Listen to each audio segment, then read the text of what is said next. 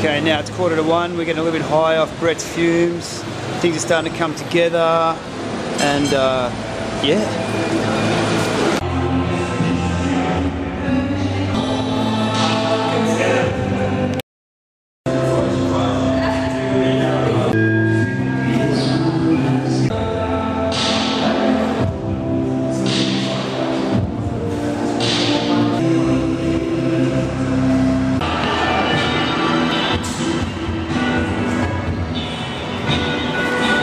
Okay, Brett, where are we at now, man?